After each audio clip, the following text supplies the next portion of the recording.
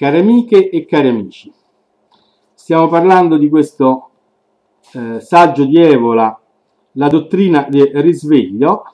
Abbiamo parlato anche della introduzione di questo illustre studioso Jean Varenne, uno studioso della Sorbona morto nel 1994, uno dei maggiori esperti di buddismo, che conferma la serietà delle tesi di Julius Evola, perché eh, sono state in particolare Abbiamo visto che nel 1943 scrive la dottrina del risveglio e nel, almeno per due o tre decenni successivi ci sono state tutta una serie di polemiche sul fatto della, delle analisi evoliane se fossero troppo arbitrarie o rientrassero nella tradizione buddista. Ecco, Jean Varenne, questo illustre studioso, uno dei maggiori studiosi, ci conferma la serietà delle eh, analisi evoliane. Abbiamo anche visto poi come Evola eh, abbatte dei luoghi comuni che erano quelli che vedevano i buddisti come questa sorta di straccioni vestiti con eh, lo straccetto arancione e la ciotola che andavano a mendicare parlando di compassione, una sorta di, di, di buddismo che oggi potremmo definire New Age, eh? e invece ristabilisce una, eh, nelle sue analisi una prospettiva di una visione aristocratica e guerriera del buddismo proprio perché appunto il principe Shakyamuni era eh, un figlio di un re, principe educato dunque anche all'arte delle armi e della guerra e la sua è una visione aristocratica e guerriera. Questa era il, grosso modo il, la sintesi del contenuto del primo video. Andiamo avanti adesso. Ecco, eh, Evola ci mostra dunque come questi pregiudizi eh, determinate da questa serie di luoghi comuni che le vedevano il buddista semplicemente come questa sorta di non violento, passivo, eh, eh, una sorta di, di eh, ipnotizzato che cammina sempre in uno stato alterato di meditazione che lo inebria, in uno stato di dormiveglia e, e sempre perennemente portato verso l'innazione. Ecco, eh, Evola demolisce questa immagine legata alle precomprensioni e al pregiudizio e ci pone l'immagine di uno kshatriya. Eh? Eh, il Buddha apparteneva alla, alla, casta dei guerrieri. E, e anche il pessimismo buddista, ancora oggi c'è questo luogo comune che vede eh, questo è sempre il buddismo come una sorta di pessimismo, eh, visioni eh, popolari ma anche molto superficiali che a volte anche, hanno anche delle persone colte che non abbiano approfondito il buddismo. E il buddismo è vero che Buddha affermò che tutto è sofferenza, va bene? Però Buddha chiarì poi, eh, legato proprio a un esempio guerriero, cioè Buddha disse i combattenti rischiano la vita per la brama del saccheggio e per il piacere della gloria. E poi, una volta finito il combattimento, che cosa accade?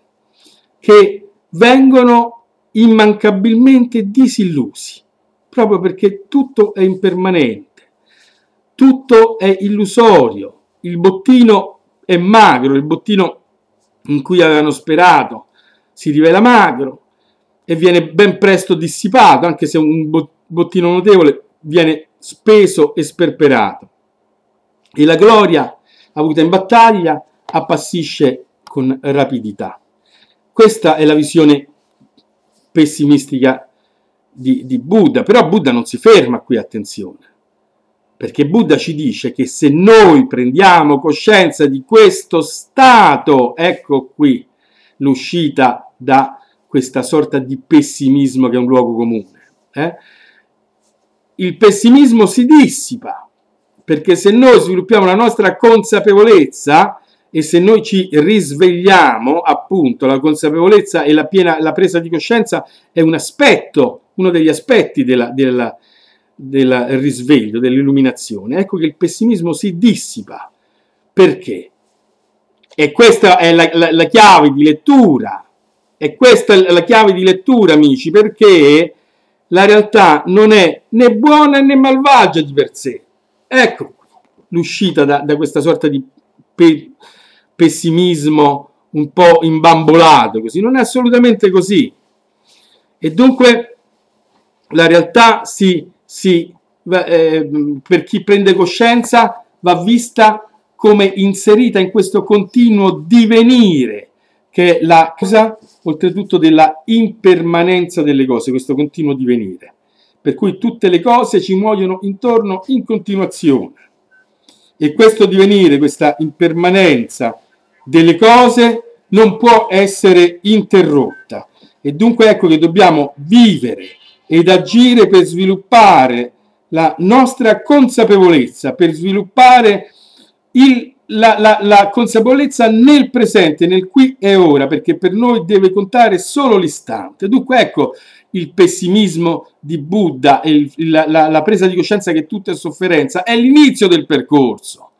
Ma Buddha ci indica anche l'uscita a questo, per questo non è assolutamente pessimista, come dice il luogo comune. Ecco che il Dharma si afferma con un unico riferimento che sottolinea Evola in più di un saggio. Fa ciò che deve essere fatto. Ossia, in altre parole, fa sì che il tuo agire sia completamente disinteressato. È quello che nei miei video parlo, analizzo nell'agire senza agire, anche un video intitolato così per chi è interessato. Rivede il video Agire senza agire, l'azione spontanea conseguente alla consapevolezza che si sviluppa nella meditazione. Poi Evola sottolinea anche che il termine ascesi, perché anche questo termine era stato visto come una sorta sempre di passività, di queste forme di ascetismo, di gente che va nel deserto, sta lì isolata dal mondo. No, no assolutamente no. E, e, e Evola ci dice il termine ascesi spesso genera errori proprio, scrive Evola, per, per coloro che guardano il buddismo da, dall'esterno in maniera superficiale. Perché ci dice Evola che il senso originario della parola ascesi è esercizio pratico. Questo significa esercizio pratico e disciplina.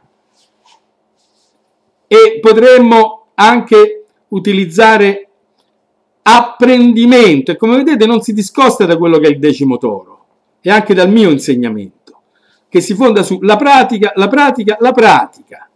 E questa l'ascesi, anche di cui parla Buddha, è questa l'ascesi che, di cui sottolinea l'aspetto evola, la pratica, quindi ascesi intesa come pratica, come disciplina e apprendimento della disciplina. Questa è l'ascesi, non questa sorta di mortificazione legata all'idea di penitenza, di senso del peccato che nel buddismo non esiste come nel cristianesimo perché non esiste un peccato originale e dunque neanche questa volontà di mortificazione che non c'è, poi queste sono le distorsioni del, del, del, del buddismo perché abbiamo visto che proprio l'idea, la volontà di mortificazione legata alla penitenza e a queste forme di, di ascesi in, in senso drastico, drammatico, eh, furono a un certo punto, eh, eh in un certo senso, eh, eh rifiutate, no, non in un certo senso, proprio rifiutate dal, dal Buddha.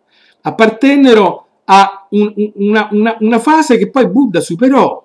Quando sentì il famoso discorso, lui stava in fin di vita e sente il discorso del musicista che insegna al proprio allievo, gli dice il liuto, la corda deve essere né troppo tesa, se no si spezza, né troppo lenta, se no non suona. E Buddha capisce, ecco, a livello intuitivo, che la corda troppo lenta era di quando stava a fare quel tipo di vita dissoluta alla, alla corte del padre, quando era ancora il principe Siddhartha, amante del lusso. E la corda troppo tesa era quello che stava facendo, un'ascesi prolungata dove rischiava di morire. Ed ecco il cammino della via di mezzo che è il reale spirito del Buddha. Dunque non questa ascesi legata alla sofferenza per espiare il peccato. Questa è una concezione cristiana e dunque poi è stata proiettata su, su, sui buddisti, ma non c'entra assolutamente niente col, col buddismo. E è una, una ascesi nel senso appunto di pratica e di visione guerriera che comprende sempre la sfida con se stessi. Evola poi eh, rimase, Evola eh, passeggiava sotto un bombardamento, quando una scheggia lo prese alla spina dorsale e rimase paralizzato per, per, per, per 30 anni. Eh? E non si lamentò mai un attimo di questo. Eh? E, e, e, probabilmente per come conosco Evola io da quel che ho letto eh, e da quelle io ho conosciuto anche gente che l'ha conosciuto personalmente, me ne ha parlato e probabilmente Evola l'avrebbe pure rifatto. Se gli avessero chiesto ma tu tornando indietro l'avresti rifatta la passeggiata sotto le bombe? probabilmente avrebbe detto sì, eh? perché aveva questa visione aristocratica e guerriera. Ecco, questa visione ascetica di sfida con se stessi. Per questo amava. Eh? Eva, Evola poi fa disperdere le, sue ceneri sulle, eh, sulle Alpi, no? E quando muore, perché era un amante della montagna, era un alpinista e paragonò poi l'ascesi proprio allo sforzo della, dell'alpinista, perché per un profano la scalata è, è, uno sforzo inutile. Il profano pensa: ma chi glielo fa fare? Ma che, perché devono faticare così tanto? Invece, per l'alpinista, per chi sta dentro quella dimensione, la scalata è un atto eroico, un modo, un, si rischia la vita nelle, nelle, nelle, scalate come quelle che faceva Evola. Ris, rischi la vita, devi mantenere la consapevolezza sulla scalata, altrimenti precipiti, ti schianti in un burrone. È dunque un esercizio di consapevolezza costante e di costante sfida con se stessi. Questo era l'alpinismo di Evola, era un alpinista e fa dei paragoni proprio con questo tipo di eroismo, con questo tipo di ascesi, non con l'ascesi legata al peccato, al peccato originale, nasciamo col peccato, dobbiamo espiare, assolutamente non c'entra nulla il buddismo con tutto questo. E dunque eh, il Buddha, tra l'altro, abbiamo visto che si era data una forma di ascetismo simile a quella degli eremiti del deserto. Eh? C'era, aveva fatto questi digiuni prolungati, queste pratiche che tendevano a, anche a, proprio a spezzare la resistenza del corpo, proprio alla, alla morte. Alla fine sarebbe morto lui se non avesse udito questo discorso, per queste pratiche estreme di ascetismo ma ottiene il risveglio quando comprende che quella anche era una via senza uscita, esattamente come era sbagliato stare lì con, con, nella corte del padre eh, immerso nel lusso, e Buddha comprende che anche questa, questa forma di ascetismo estremo era totalmente sbagliata e controproducente. È lì che poi raggiunge il risveglio con grande scandalo dei discepoli che pensavano ah ha smesso di mortificarsi poi ci fu una ragazza che gli diede da mangiare lui la, la prese, era fuori dagli schemi era fantastico Buddha eh? era fuori dagli schemi e dunque mangiò oltretutto le donne non potevano avvicinare gli asceti lui mangiò proprio col, col cibo con l'acqua che gli offriva una ragazza e tutti lo disprezzarono esattamente come i vari intellettualozzi poi hanno eh, intellettualoidi e pennivendoli, servi del potere, hanno disprezzato Evola al punto da re, relegarlo ai margini del, del, de una dimenticanza, dell'oblio, una sorta di oblio su un, un, intellettuale di levatura così grande. E così pure Buddha lo disprezzavano. Ah, hai preso il cibo da una donna, hai smesso con il digiuno, non sei nessuno. E Buddha, Buddha viveva nella consapevolezza. Ma figuratevi se si faceva toccare da, dalle critiche di suoi compagni di ascesi. È lì che iniziò realmente ad agire con il vero distacco, eh? non legata a queste forme, questa sorta di masochismo di queste forme ascetiche. Ma allora il distacco, l'ascesi come pratica, come disciplina, della, che, che è fondamentalmente una disciplina della mente, una disciplina dell'interiorità. Va bene? E questo è il significato profondo dell'insegnamento del principe Siddhartha, principe, figlio di un re aristocratico, che divenne il Buddha, colui che esce dal sonno, il risvegliato, l'asceta che era legato alla dinastia dei Shakya, Shakyamuni, Shakyamuni, eh, di, dinastia guerriera, re, il padre e, e, di, di, di stirpe di kshatriya, di guerrieri. E ecco che tutto il valore della dottrina del risveglio di questo libro di Evola sta nell'evidenziare proprio questo questo buddismo autentico, eh?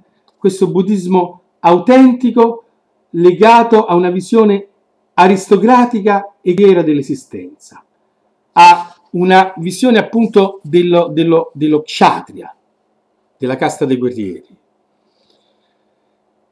E attenzione perché Evola scrive utilizzando in maniera massiccia le fonti originali che erano state raccolte nel canone in lingua pali. Buddha parlava in lingua pali eh, e predicava in lingua pali e dunque le, la lingua originaria da cui attinge, poi cerca in ogni caso di attingere Evola, è la lingua pali. Ma attenzione perché a Evola non è un pennivendolo, per quello sto parlando di Evola sul, sul, sul mio canale, tra l'altro. Evola non è per un... Lui, lui, non prese... Lui diede degli esami, si fermò, mancava solo la laurea e non la diede proprio in segno di disprezzo dei de, de, de riconoscimenti accademici.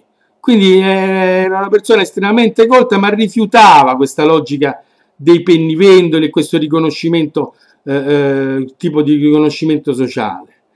Ed ecco che la, questa erudizione dunque del, di Evola, questo suo rifarsi ai testi originali, questo suo studiare anche la lingua pali, eh, prendere contatto con maestri anche eh, eh, eh indiani, tutto questo ha delle finalità pratiche in Evola non è un, esercizio semplicemente di, di speculazione mentale.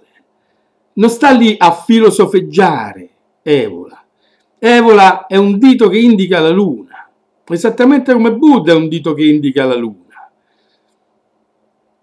Evola è un maestro anch'egli e ci dà delle indicazioni pratiche e scrive questo libro non come la maggior parte di questi intellettualoidi e pennivendoli e servi del potere che stanno lì a disquisire per fare farsi belli davanti al professore universitario se sono professori universitari per dimostrare e per far sfoggio della loro cultura. A questo, di questo non gliene frega assolutamente nulla Evola di tutto ciò.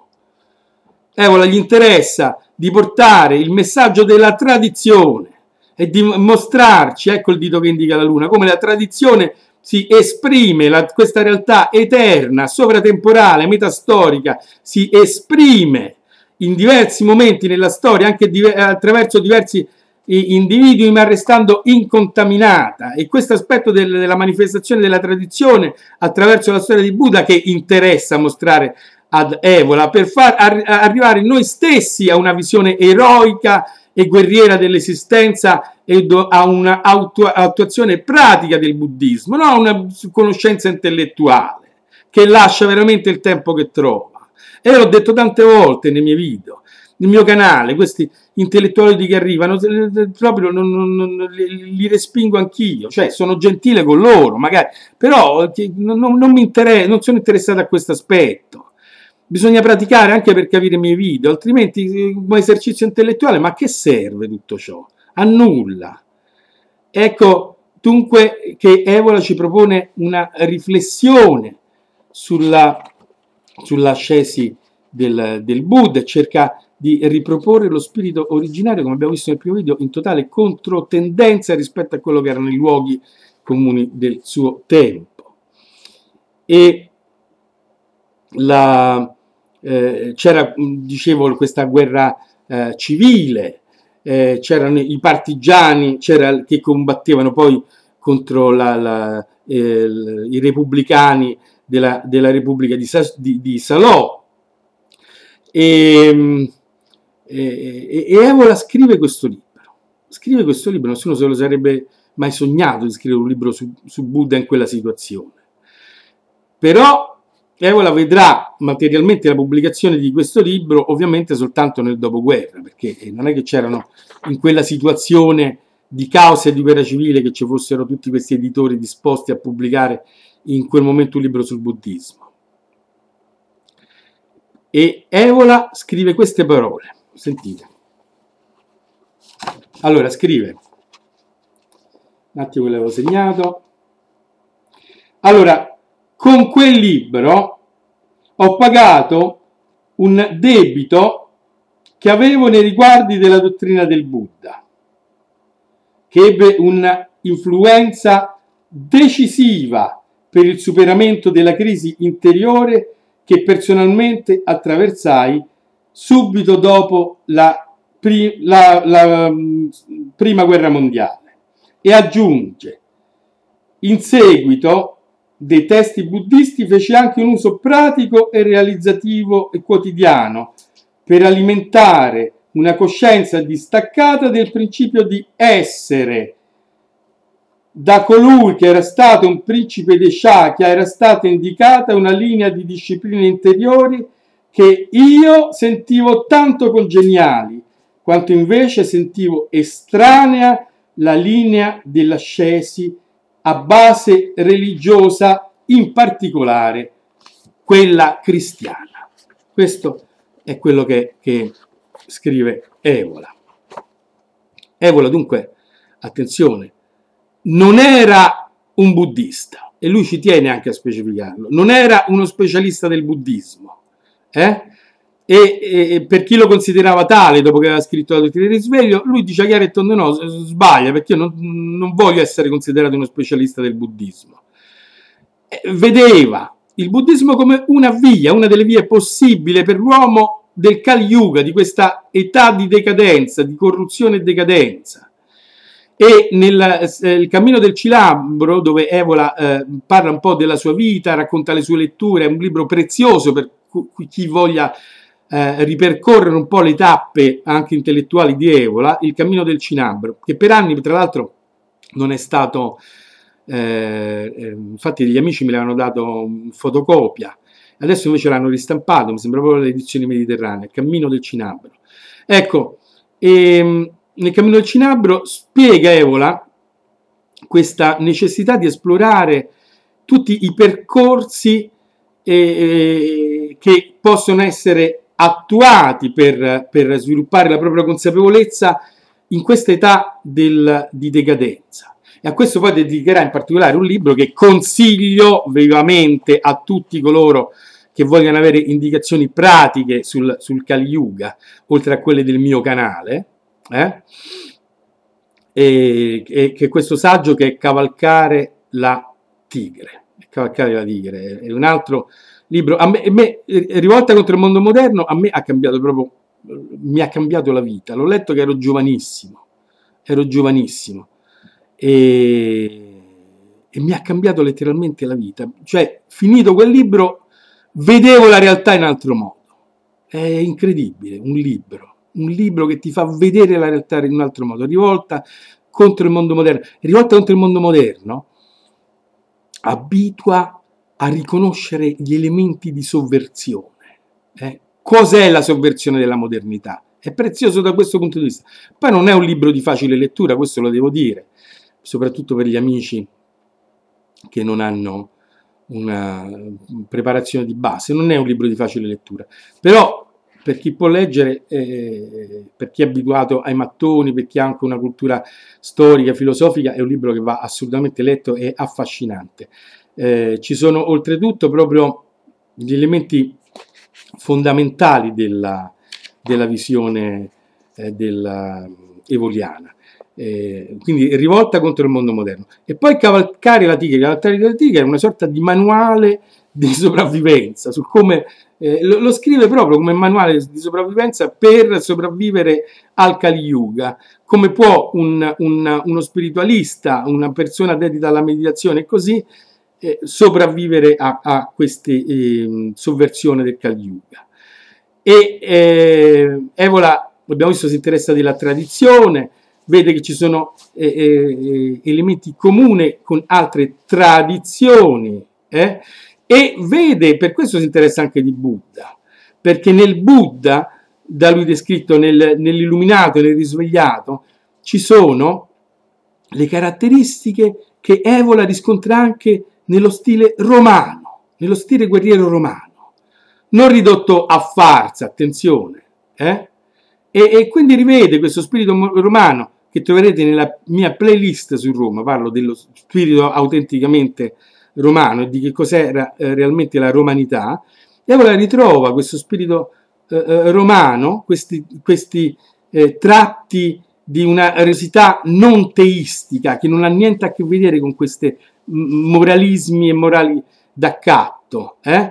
ma una spiritualità legata al dominio di sé, legata a forme di ascesi, appunto intesa come disciplina, che sono in grado di fare l'uomo simile agli dei, cioè di portare un grado di, di giungere un grado di spiritualità simile, prossima, ecco potremmo dire, al divino. Ed ecco il buddismo originario che è stato formulato in vista della condizione di l'uomo al tempo di Buddha, l'uomo a cui si rivolgeva Buddha, certo non era la condizione del materialismo occidentale di oggi, però non c'era neanche il Kali Yuga avanzato come, come, come, come ai nostri giorni, eh, nel periodo di Buddha, però c'erano in germe tutte queste potenzialità.